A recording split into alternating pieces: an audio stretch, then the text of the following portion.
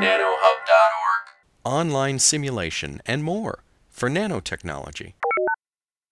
The best way to think about anything that's as small as a billionth is to think about it in respect to something else that we think we understand. So what I want to do is to start with a series of pictures that I pulled off the web that show first reduction in size, starting from an area which is a thousand kilometers, about 600 miles across.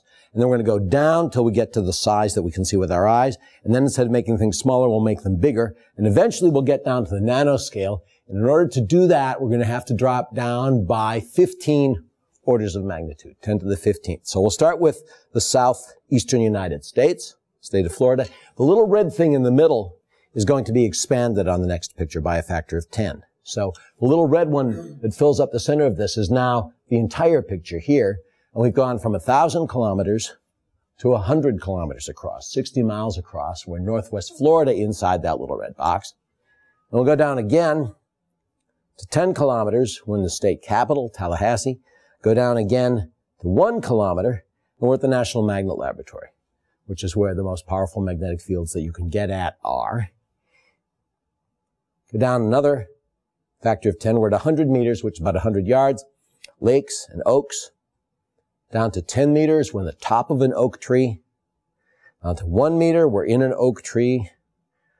These oaks look a little different from the oaks in Illinois where I live, but they are oaks nevertheless. Go down to 100 millimeters, which is 10 centimeters, which is about four inches, and we're on top of an oak leaf. Now, this is the first actual size picture. So we started with a very large view of southern Florida. Now we've brought it down so that it's actual size. All these have been reduced. Now we're going to start expanding and start making them bigger. Go down to 10 millimeters with the surface of the leaf with the central spine coming out and the branches coming off of that. This is enlarged 10 times. Go down to one millimeter. One millimeter is a tenth of a centimeter, which is about a 25th of an inch. And you can see the surface of the leaf. You can begin to see the substructure in the green part. Then we're going to go down to 100 microns. Now, 100 microns is a particular length size. It's the scale at which most human eyes don't work much longer. I mean, this is the size of a human hair, which is something I don't know a lot about. But if you, if you look on a surface and you put one of these down, almost all of us could see this. Right? You'd take a hair and you'd see it on the surface. If you go down by another factor of 10 to 10 microns, most of us cannot see this. Some individuals can, most of us cannot. We're not the nanoscale yet. We've Got a long way to go still. Down to one micron, the nucleus of a cell. And the nanoscale is normally defined as lying between 100 nanometers, which is the structure of chromatin, and one nanometer. And this factor of 100 is sort of by the definition of the marketplace, what we normally think of as the nanoscale. Chromatin is the way that DNA is stored in many organisms. You see these coiled up worm-like things that in fact fill, for instance, the center of a virus. If we go down from 100 nanometers, which is the largest end of the nanoscale, to 10 nanometers, right in the middle of the nanoscale, you see the double strands of DNA.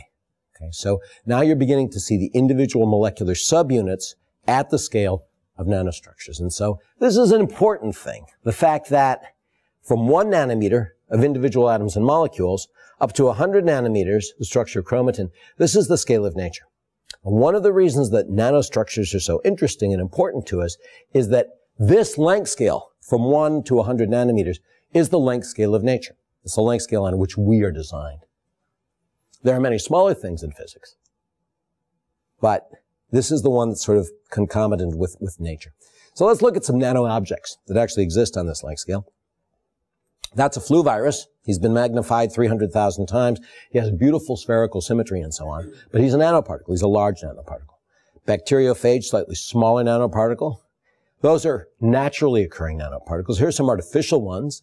These particular ones were made at Chad Mirkin's lab at Northwestern. But the point is, you see a large nanoparticle in the middle, which is gold. You see small nanoparticles around the outside. Those are also gold. They've been magnified half a million times so that you can see them. They're held together by molecules that you can't see, but these are artificial structures that have been made on this length scale. Why is this interesting? Well, we'll get to that later. So far, we're just talking about what does exist on this length scale. And this is the world's smallest abacus. Um, it actually consists of carbon 60 molecules, which are called buckyballs, and they're shaped like a soccer ball, made out of carbon, and they can be moved from one position to another on the surface. And so you can use this just like an abacus. You can move this, the carbon 60s from one place to another and do adding and subtracting in that way. Now, one question you might ask is, how do you move these C60s? You clearly can't move them with your finger. You can't move them with the tip of a pencil. So how do you move them? You can actually get on the website and move them with your joystick, but physically, how would you move something this small? And that, in fact, is one of the interesting issues about nanoparticles.